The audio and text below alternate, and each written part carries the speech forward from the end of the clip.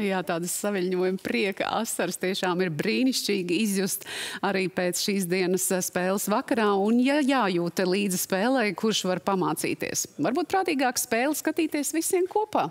Jā, tā šodien lēma daudzās skolās un lēma arī Siguldā, kur paša skolēnu iniciatīva ļāva Latvijai svarīgo spēli noskatīties un kopā just līdzi katram basketbolistu metienam. Un kopā ar skolēniem līdzi jūt arī Aleksandra Straume.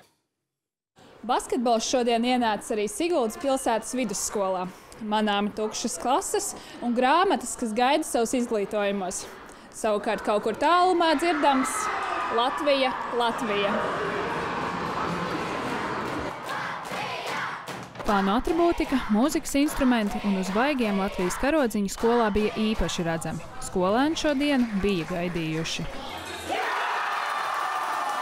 Es vakar Instagramā redzēju, ka uh, Lietuvā, kad vakar Lietuva spēlēja pret Serbiju, kad uh, Lietuvā dažās skolās bija šī ideja īstenota. Un, uh, līdz ar to es rakstīju SPV vidusskolas uh, kontam, vai varētu šādu ideju arī mēs izdarīt. Tā arī nu radās. Tātad tu esi idejas autors? Apmēram, jā. Nu, uzvarēsim? Es, protams, jā. es arī ceru, ka mēs uzvarēsim. Latvija ir stipra, ja mēs ļaujam. Ļaujam. Man liekas, ka rītdien nebūs balss. Saspringuma zālē iestājās, kad Latvija sāka nedaudz atpalikt no Vācijas izlases. Taču vēl joprojām par katru iemesto bumbu pretinieku grozā skanēja ovācijas, kas dzirdamas tālu, un līdzutēju gaidas lielas.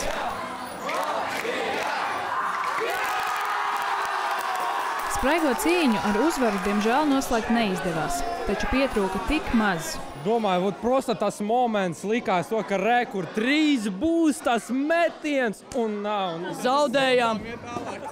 Jā, jāturpina mācīties, bet nu, neko gaidīsim nākamo čempionu četriem gadiem. Nu, bet, nu, malači, malači labi cīnījās. Jā. Rīt basketbolists cīnīsies par piekto vietu un spēlēs ar Itāliju, bet vismaz kāds prieks arī šodien puišiem ir ticis. Mēs esam televīzijā! Aleksandrs Straume, Aigars Kovaļevskis, Latvijas televīzija.